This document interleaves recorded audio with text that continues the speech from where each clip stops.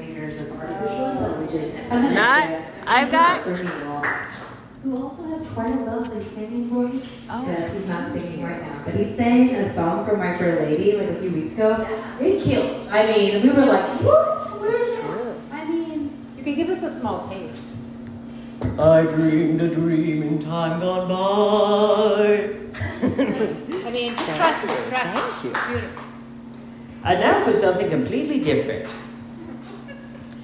So, this is a story that is one of my personal favorites out of all of the stories on the internet. This story is called First Encounters.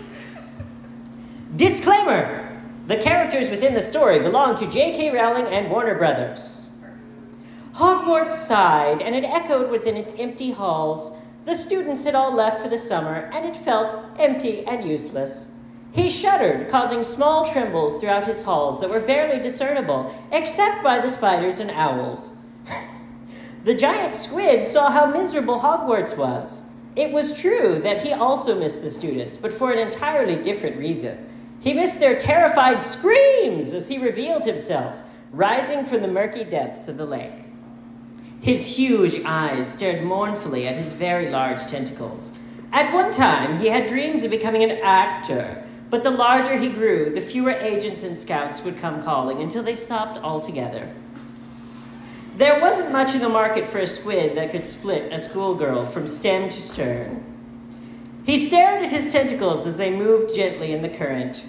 A plan formed in his mind as he swam to the surface, hesitating momentarily before pulling himself from the water.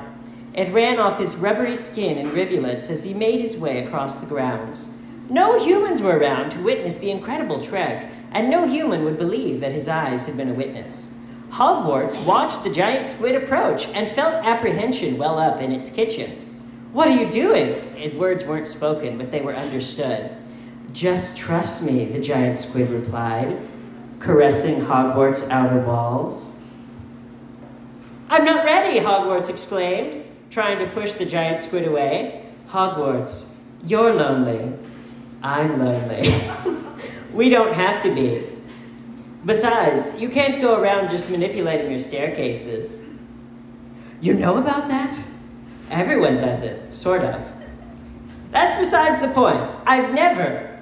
The temperature within Hogwarts rose in embarrassment. I'll go slow, I promise. He began to caress a window. I told I told you this is one of my favorite stories. Thank you.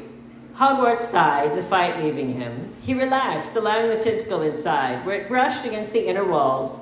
It's, it's just Hogwarts and a giant squid. I don't know where your mind is going. It's like the R-rated. Oh, it's very R-rated. I won't read that part. He fashioned the suction cups to the floor, lifting the tentacle away so it pulled on the floor without losing its grip.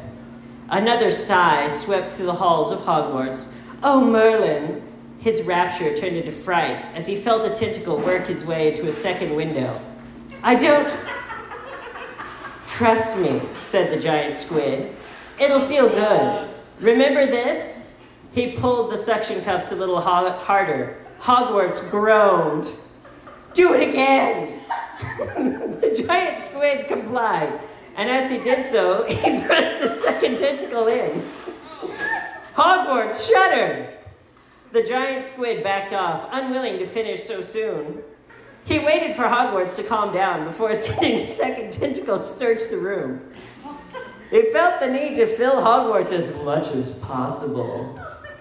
He raised another tentacle, caressing its outer walls.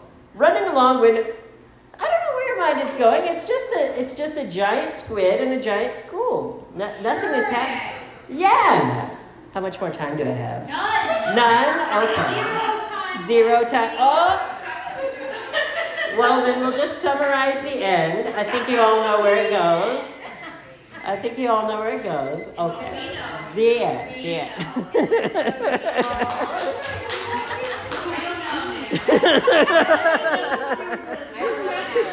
You, you sir. Are on, you know, alert. Oh. I gotta, I I got a red flag. Oh, okay. Army Oh, okay. Of robots. Yes. Good. That was quite dirty. okay, um, is there anybody that has not been up here yet that wants to come up and read a poem, sing a song, tell a story, tell a dirty squid story? Dirty Squid.